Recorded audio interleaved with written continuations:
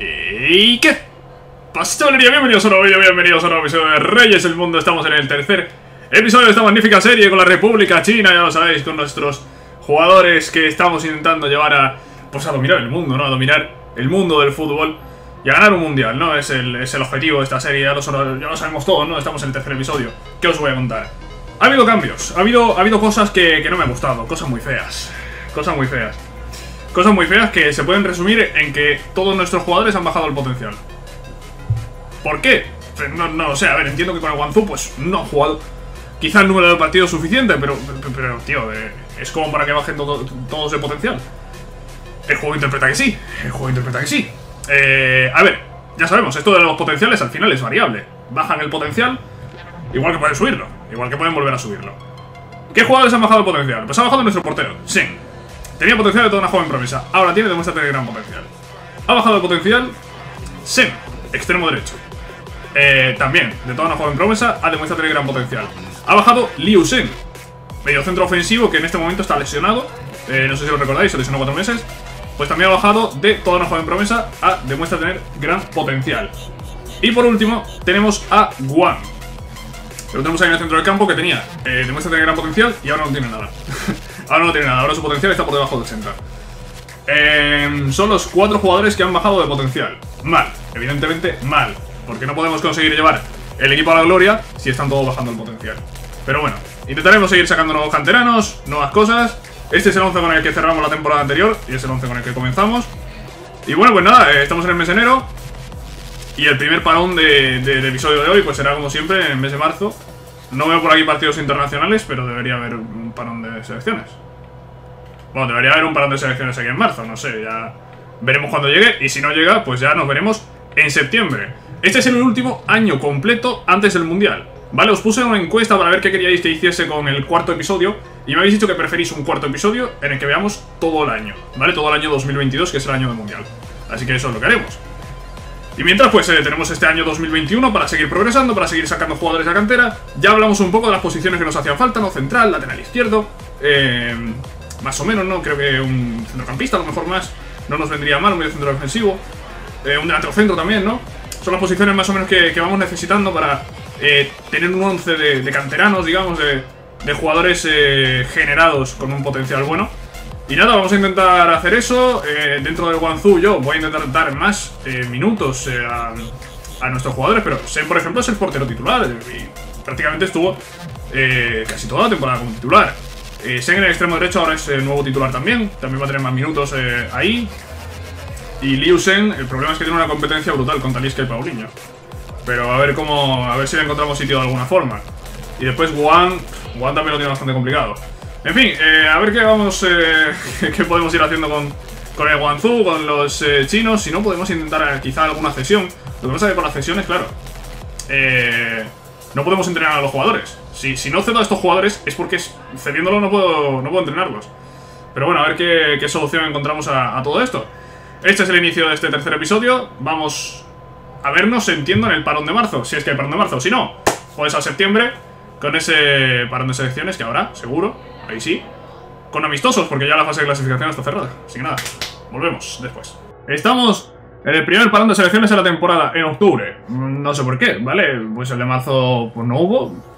Es, es, como raro, ¿no? Porque los jugadores se van con la selección, pero no juegan partidos. Es, muy raro, ¿no? Eh, al menos lo de la selección china, ¿vale? El resto de selecciones sí competirán.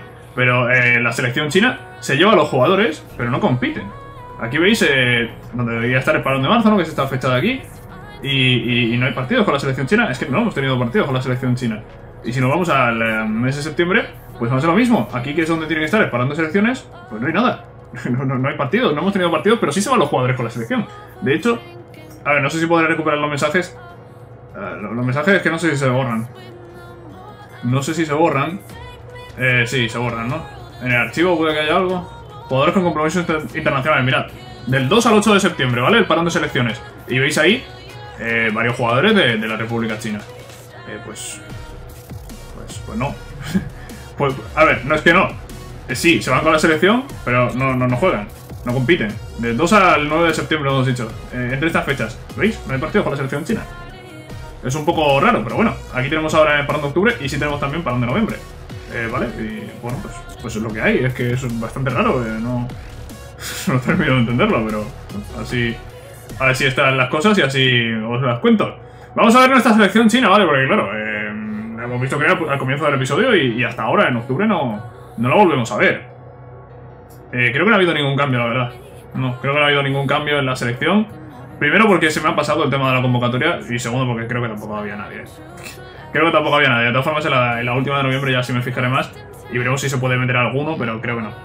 Bueno, en portería tenemos a Shen, ya 82 de media, Wang, Zhu Shenye, Gao Zunji y Li Shuai en defensa, ya Wang y Zhu, Shenye están en 75 de media ambos. En medio para Like, Zhang Shise y Shen, que tiene ya 79. Arriba Shen ya con 80, Wu Lei y Wei Xihao. En cuanto a los suplentes, Yang Junlin, Deng Hanwen, Shike, Liang, Li Lei, Liao Lisen, Shi Zongguo y Wang en el medio, arriba Qian, Aikesen y Cao Yunlin. Os tengo que comentar varias cositas. Eh, tema potenciales, ha habido algunas variaciones, ¿vale? Ha habido algunos jugadores que han perdido o han ganado potencial. Hablamos de Wang, potencial de toda una joven promesa, ha perdido. No sé qué pasa en esta serie, que todos los jugadores me están perdiendo potencial. Qian, potencial de demuestra tener gran potencial, también ha bajado. A, a nada. Ahora no tiene nada. Wang ha bajado, demuestra tener gran potencial. Y después tenemos otros dos que han subido, que eran reservas del Guangzhou. No entiendo cómo dos jugadores que son suplentes bajan y dos jugadores que son reservas suben. No tiene mucho sentido, la verdad. Pero así está el tema. Bueno, por aquí he subido bastantes jugadores. Ahora os comento un poco eh, alguno que hay interesante. Pero os comento el caso de Fang Ren, que ya lo teníamos en plantilla. Tenía, demuestra tener gran potencial. Ahora tiene toda una joven promesa. Y Tu Tian, que este no es que haya subido de potencial, sino que tenía menos de 60 de media, ha vuelto de cesión y su potencial es de, demuestra tener gran potencial, ¿vale? Antes no sabíamos su potencial, ahora sí lo sabemos. Y es este, y para el lateral izquierdo, pues... No sé si para el próximo mundial llegará a ser titular, pero, hombre, de cara al futuro va a ser un jugador importante, sin duda. Y después, al margen de estos jugadores, pues tenemos, por ejemplo, a Liang Mao. ¿Vale? Subido jugadores del filial, hay algunos que son interesantes, pero que, como todavía no tiene 60 de media, no, no puedo mirar el potencial. Tenemos a este, eh, que sí le puedo mirar el potencial, Liang Mao, potencial para destacar. Medio izquierdo, extremo izquierdo, potencial para destacar. Liang Mao. Mucho ojo a este jugador. Y después tenemos también a eh, Ho Hu, o O U, no sé cómo se pronuncia esto, O U, eh, Hu, mm, no sé, 61 de media. Y potencial de. demuestra tener eh, gran potencial. Vale, eso es lo que tenemos en cuanto a nuestros nuevos canteranos y todo eso. Eh, creo que no hay mucho más que comentar. Tengo algunos cedidos que pueden ser interesantes y bueno, pues ya hay que ir viendo cómo evolucionan todos. Tenemos aquí un central, Kitchen Den, no sé si este lo habíamos visto ya. Y diría que tengo otro central más que he subido al primer equipo, ¿verdad? Sí, lo tenemos aquí. Bojin Peng, eh, 56 de media ahora mismo, hasta que no eh, a 60 no conocemos su potencial.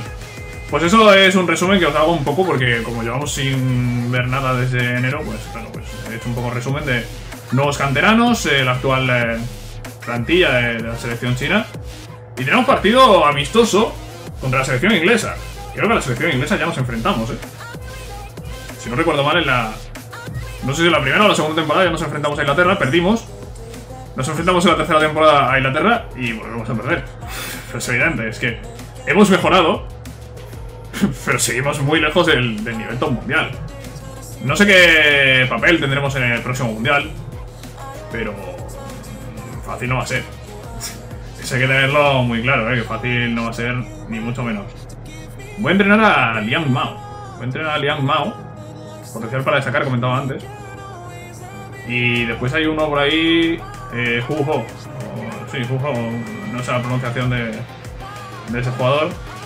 Joder, es que es medio derecho, tío. Es que mira la cantidad de extremos que hemos sacado, tío. Tenemos dos en la selección.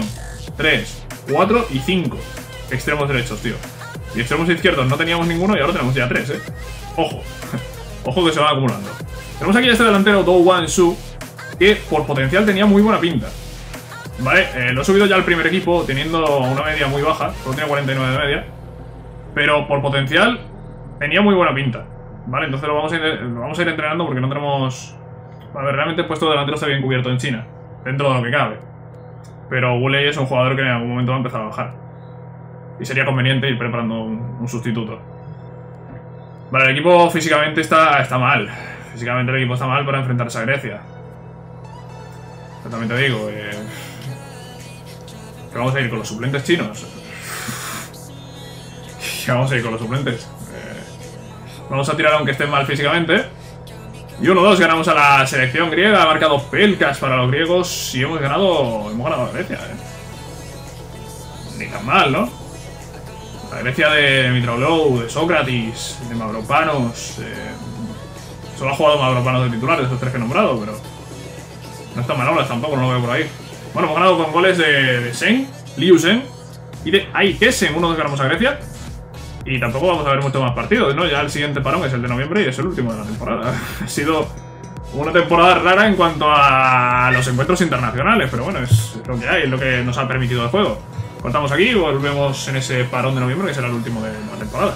Pues ahora estamos en el parón de noviembre, último de la temporada. No, hay más, vaya, no hay más. Austria y República Checa. Pero con un partido con el Guangzhou entre medias. Mm, no sé qué va a pasar, se va a buguear. Vamos a poder jugar los dos partidos. No sé, la verdad. Voy, a la aventura, a ver qué ocurre, a ver qué pasa.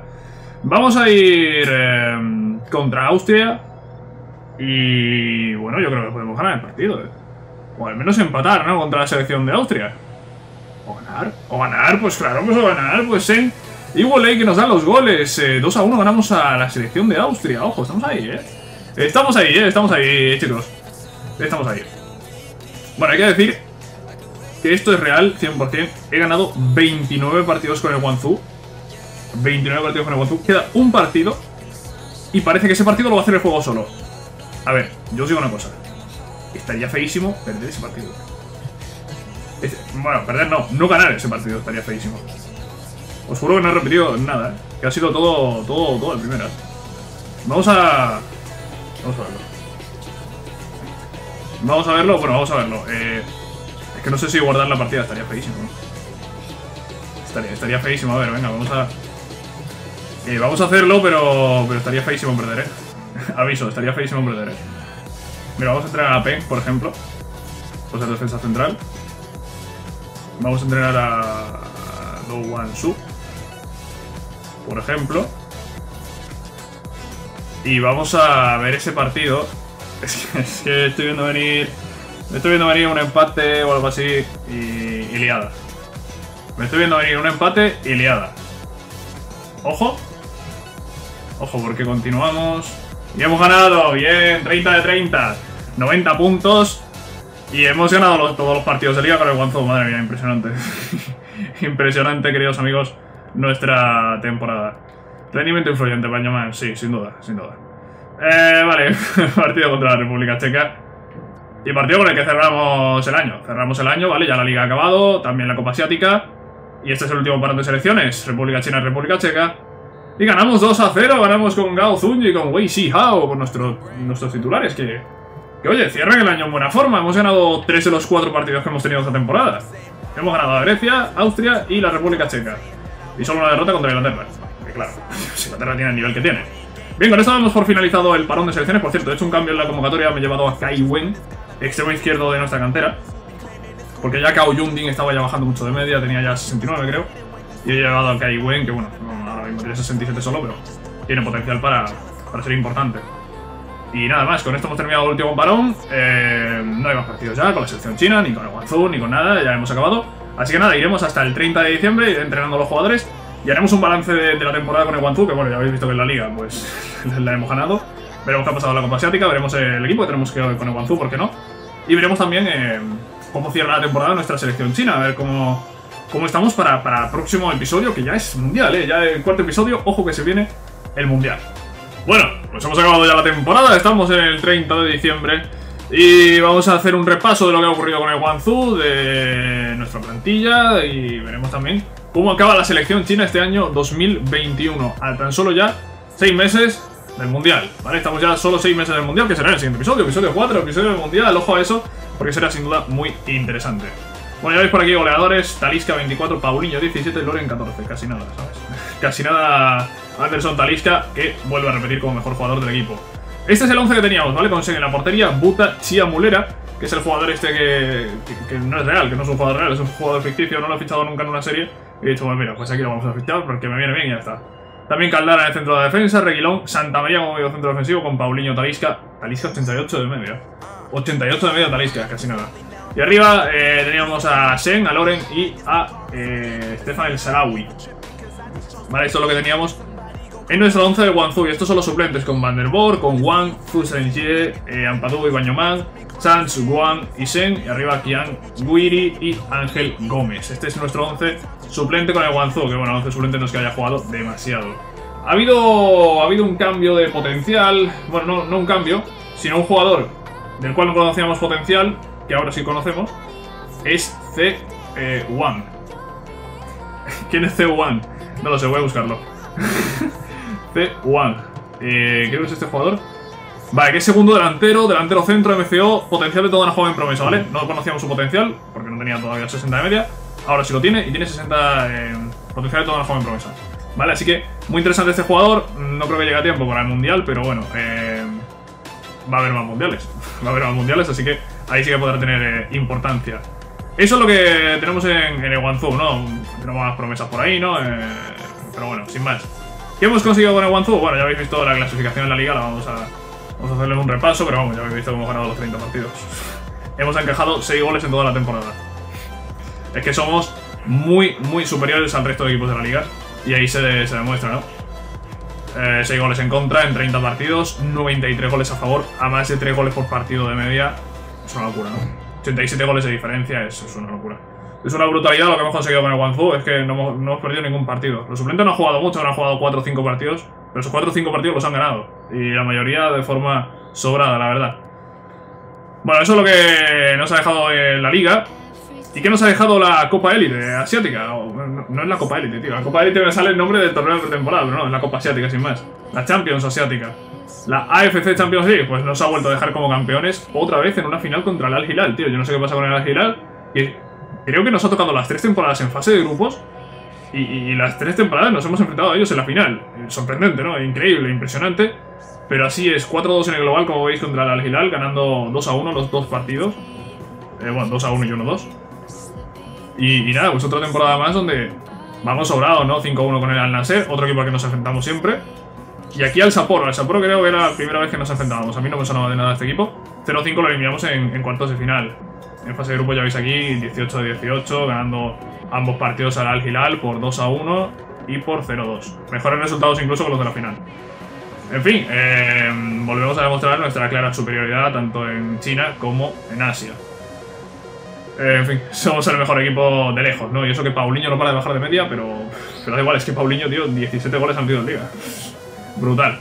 Brutal lo de, lo de Paulinho. Podemos echar un ojo eh, rápidamente así a las estadísticas, ¿vale? Vamos a echar un, ojo rápido a, a, las estadísticas del equipo, ¿vale? Sobre todo así a las más importantes.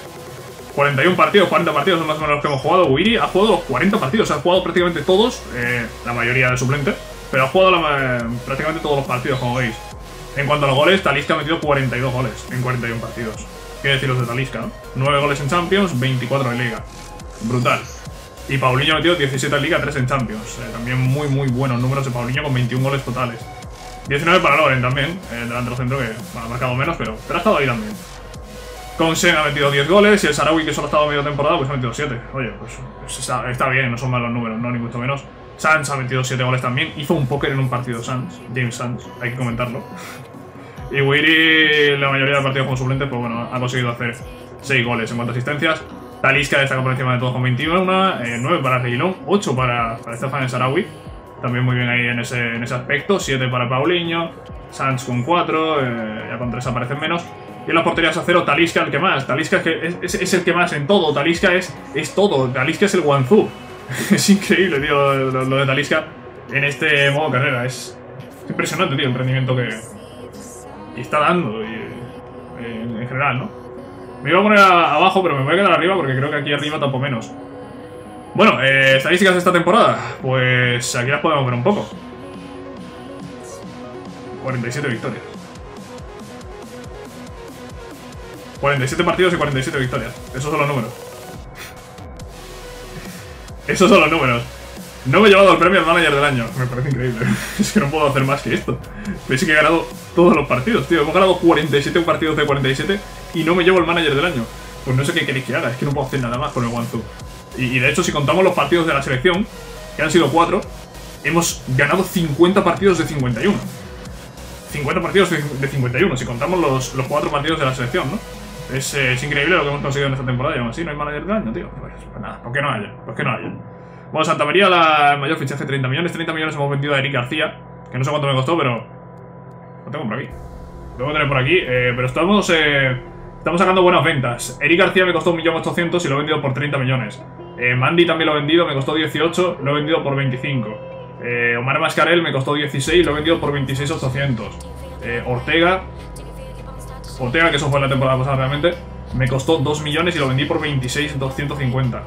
Eh, en fin, que estamos haciendo muy buenos negocios aquí en el Guangzhou, la verdad. Y esta temporada pues ya ha sido completamente histórica, con todo, absolutamente todo, victorias. Eso es lo que nos deja el Guangzhou. Vamos ahora a nuestra selección. ¿Qué nos deja la selección? Bueno, no hay mucho cambio respecto a lo que hemos visto antes, ¿vale? Al margen de que algún jugador haya podido subir un punto de media, no hay muchos más cambios.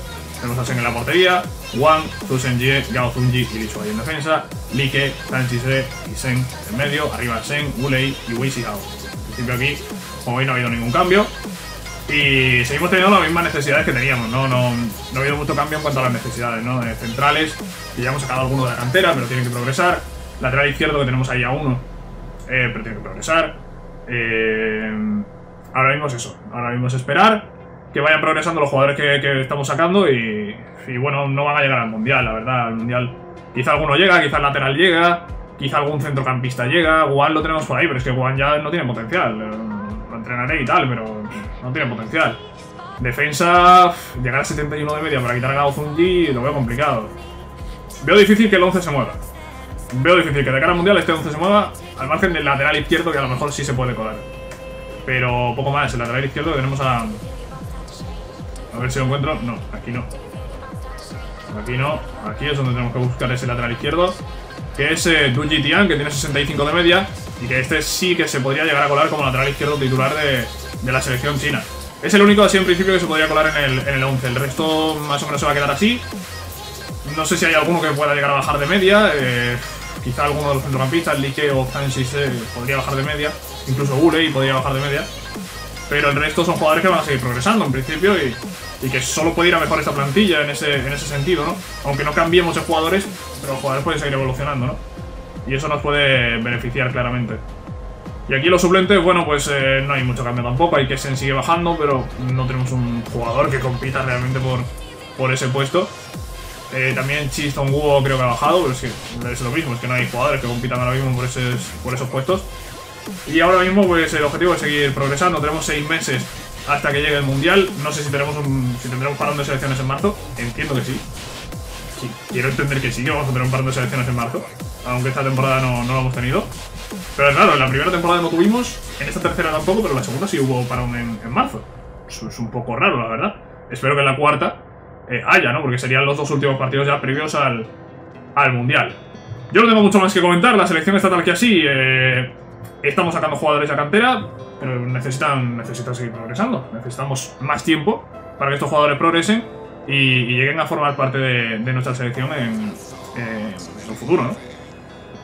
No tengo nada más que comentar en este episodio. Espero que os haya gustado este tercer, este tercer episodio de Reyes del Mundo. Estamos ya cerca del Mundial, el siguiente episodio será ya el Mundial. Y ahí, ahí lo vamos a liar, ahí lo vamos a liar. Veremos qué, qué, hacemos para el Mundial. Vamos a ver el Mundial completo. Aunque yo, aunque a mí me eliminen. Y solo jugaría en caso de llegar a la final. ¿Vale? Voy adelantándolo ya. Solo jugaría en caso de llegar a la final. Como hago siempre con los mundiales en, mi canal, ¿vale? Si llego a la final, juego. O final o tercer y cuarto puesto, ¿vale? Eh, no creo que lleguemos tan lejos, así que no voy a jugar ningún partido dentro del mundial, ya aviso. Y nada más, pues con ganas de ver qué, qué, nos separa ese mundial, sobre todo qué, qué grupo nos toca y ver si tenemos alguna mínima posibilidad de llegar a los octavos de final. Nada por aquí, espero que os haya gustado este episodio, si es así podéis dejar un like y nos vemos la semana que viene con el mundial con la selección china. Adiós.